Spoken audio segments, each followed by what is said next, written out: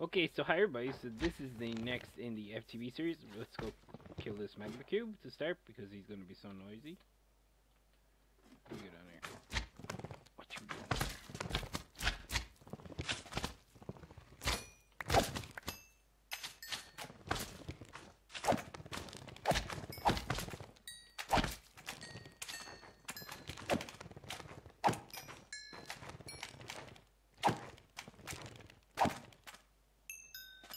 Okay. That's those.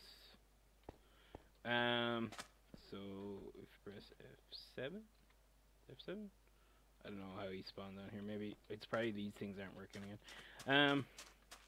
Okay, so for this we are going to turn down the sound because for some reason my mic isn't picking up things too much. So just to make sure you hear me talking. And we are going to go over here and I am going to teach you how I made a couple of things in Botania. So to start off um, what I made well the thing that I want you to be able to make is for this episode is where is it where is it where is it? I put it away now. This the ring of magnetism. That's the first thing we're going to try and build because it's probably one of the more useful items of Botania. And basically what it does is if you put it in here in your bauble slot, okay, now we have magnetism. So that means we're going to avoid the farm because it just sucks up random items. But we can go over here and let's say we break a torch, okay? You see there, it got sucked up to us, okay? There you go. So that's what it does. So it really just helps if you're like building stuff up kind of high or places where you don't want to lose stuff. Um, it just sucks them into you. Um, helps in the nether when you're doing stuff. Here you go. Example of us randomly sucking up stuff. Okay, so how are we going to do this? Maybe turn off?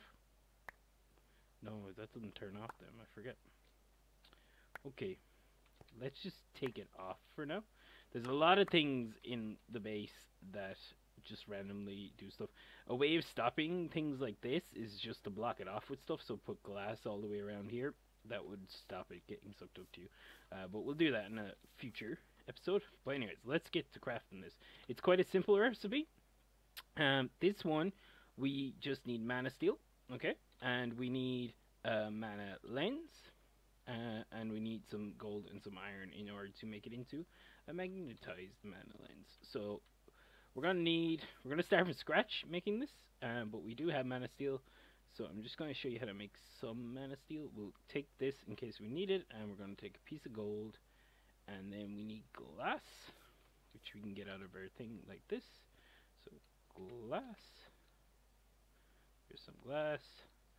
And we're gonna go in here. We're gonna make some glass panes first. Okay then we're going to uh, show you how to make a mana steel ingot. So you get any kind of mana pool, and then just drop in some iron. You can see there now we have 17 of them. Drop another one, 18 of them. Um, we don't need that much. We only need like 8. Okay, so that's that. Uh, we'll go back into our crafting, and we will make a mana lens first. And uh, we actually need to do this first. So now you need regular iron. Actually, since we have so much mana steel, we can show you this is what the mana steel shears.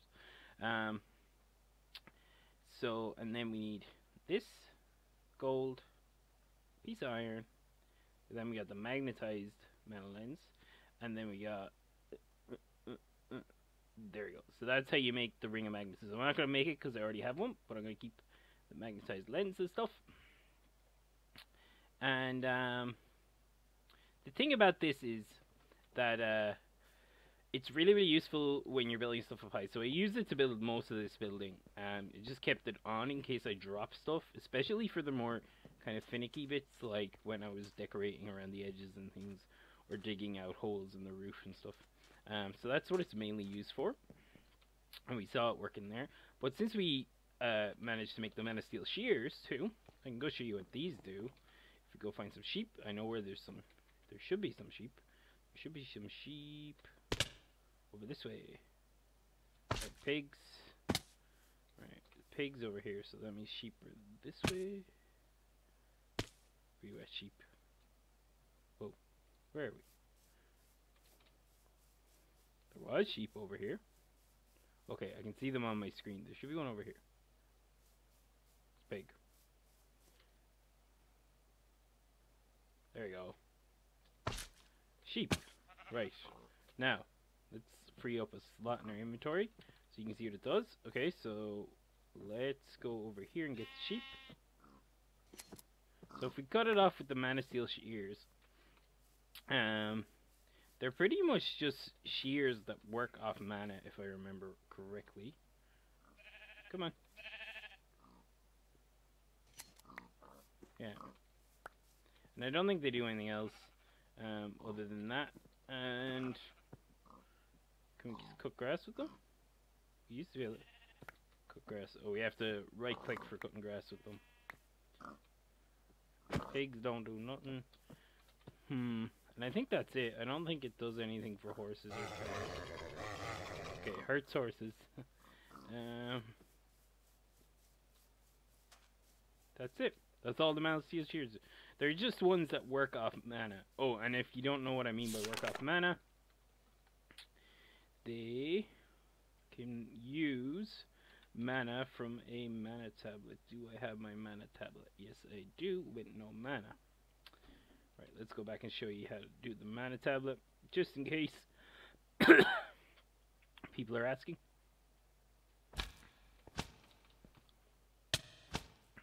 So, we go in here, we drop our mana tablet on top of the mana pool. Whoa, whoa, whoa. Uh, throw this back on. Come on. Okay, maybe not throw it on that mana pool. Let's throw it on. Hmm, I don't. Oh, it's because. Right, here's a problem.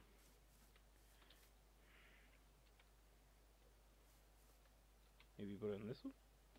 See, I think the Hopperhock is going to suck it from this one, though.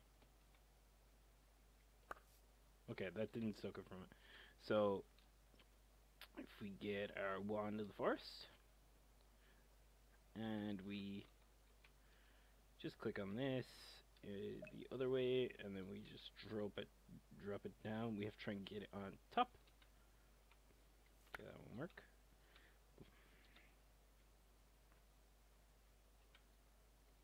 Is it Nope, Hopperhock took it. Where you at, Hopperhock? What you do with the mount see? And we will chuck you back down on the floor. There you go. Okay. Uh, maybe we're not going to be able to show you, but basically it will just replenish itself rather than breaking uh, from mana. Okay? Uh, I'm to have to work out a method for fixing this mana tablet thing. Okay, so I will see in the next one. Good luck, guys.